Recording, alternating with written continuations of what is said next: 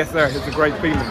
Great feeling, and they feeling good, and they excited. And um, and I, I think somebody said we made history. Uh, well, I tell you what, I, am glad that we did, and I, and I hope that be a good turning point for the kids in Lake View, Lakeview community. All right, coach. Just talk about the game. I know you girls came out uh, really. You know, the press defense really kind of gave them a lot of trouble. You girls got a lot of turnovers, got a lot of baskets in transition. Yes, we are. We stress defense all the time. Defense is the name of the game, and I stress it from day one all the way from the beginning to the ending. And that's what I start all my practice off with defense. And so, and I stress it to them, and, and, we, and we work it so hard. That's what we always start out. We play defense, whether it's the press or whether it's the man-to-man. -man, full or half court, and that's that's what we stress.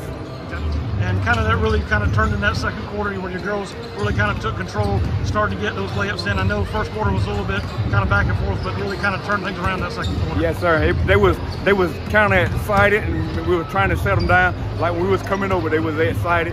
They didn't say nothing on the bus, but I can tell you when they stood up, they kept saying, "Boy, I got a, I got a, my stomach is tight." Now with the butterflies, and they was excited. And so when we got to settle down, then we then we started putting stuff together.